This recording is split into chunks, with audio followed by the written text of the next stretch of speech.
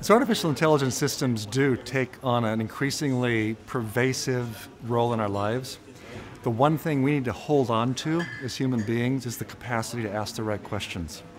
And these machines that will be able to know things and learn things and see things that we can't see, if there comes a point at which they ask better questions than we do, we've got problems. And so for me, the core fundamental skill is learning how to ask the right question of the data, the information, the analysis that the artificial intelligence is providing to me so that I can work with them instead of against them.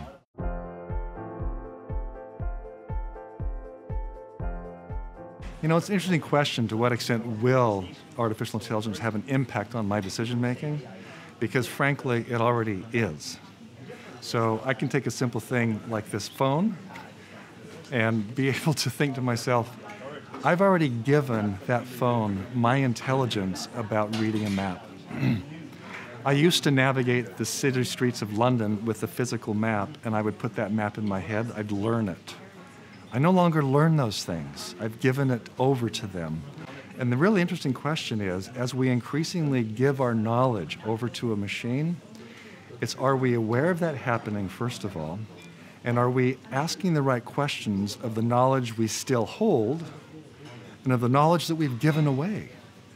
And to do that, we have to not be a machine. And what I mean by that is we have to engage in actions as leaders that get us out of our office, out of our normal environment, into the world, face to face with people, seeing in eyes, empathizing, understanding, grasping things that perhaps it can't grasp as intuitively. And somehow, from those interactions with people across all kinds of borders and contexts, be able to see things and formulate questions that a machine can't quite see yet. And then we work together with it. And that's the key to the future.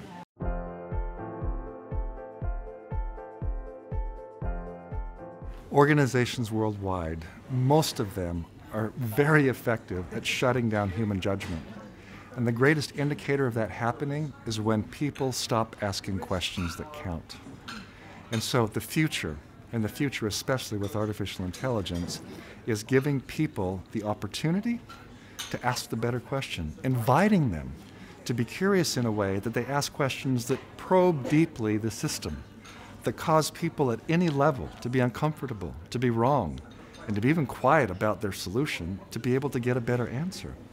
And so the real key, the real key to the future and people feeling engaged and empowered is them feeling like they can not only ask a question that might be problematic in the system, but they also have the power to answer the question they care about. One way of deeply engaging people in this process of asking the better question is to literally set aside four minutes, yourself or a team, about a challenge that you're stuck on. This is the moment where we either get engaged or not. We're stuck.